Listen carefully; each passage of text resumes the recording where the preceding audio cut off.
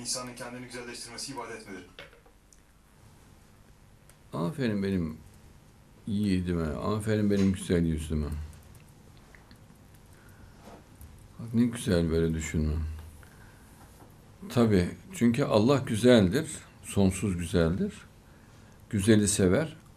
Güzellikle sevgi zaten iç içedir. Güzelliği sevgi için yaratıyor Allah.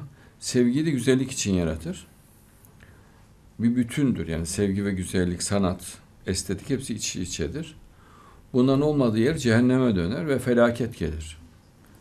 Dolayısıyla her insan kendini güzelleştirecek. Ahlakını, görünüşünü, çevresini, her şeyini güzelleştirecek.